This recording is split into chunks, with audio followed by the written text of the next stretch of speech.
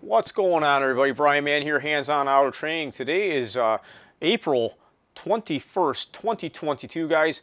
What a day. We got good th stuff going on. Premium members, we have our membership meeting tonight at 9 p.m. Eastern Standard Time. I'm pumped up to, uh, we're going to go over a couple case studies and we're going to also be playing with the FiTools CAN bus uh, data logger, messing around with that. We got a couple experiments to do.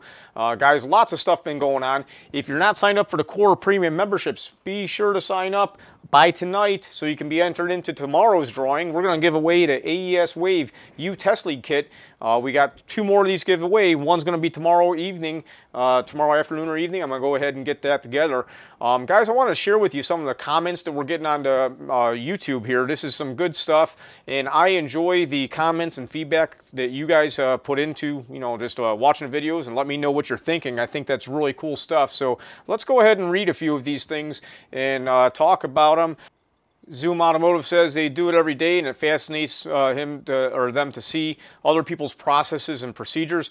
And uh, guys, one of the things I got to tell you is that's a fact. If you see my comment there, I'm talking back and I'm just saying that it is so true that we learn so much um, by watching other people. I mean, I learned everything, you know, everything I've known or learned has pretty much been taught to me. I mean, a few things I've kind of picked up or I've done it the hard way and I learned myself, but for the most part, everything we learn has been taught to us. So, you know, we just keep on learning and trying.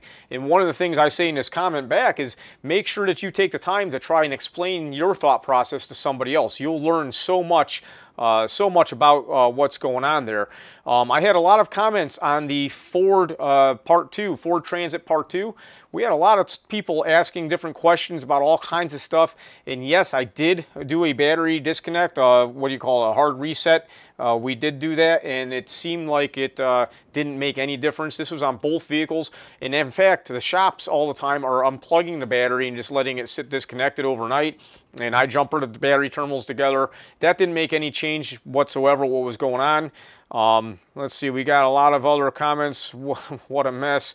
Um, and a lot of comments on this uh, this here the, the, the Chevy Cruze, the 2014 Chevy Cruze. That was a uh, no communication uh, video with that uh, Cruze. Be sure to check that out. It was really good stuff right here. Someone did post a question about separating the network there, and guys, you got to divide and conquer those CAN buses.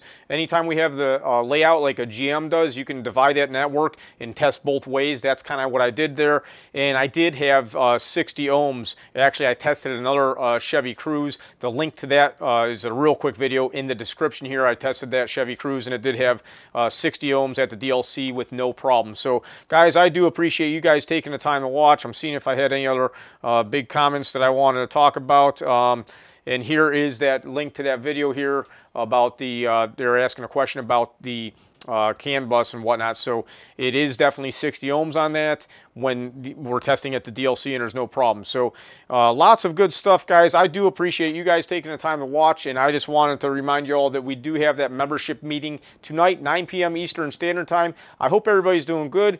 Uh, drop me a line. Let me know what's going on. We'll see you guys later. Bye-bye.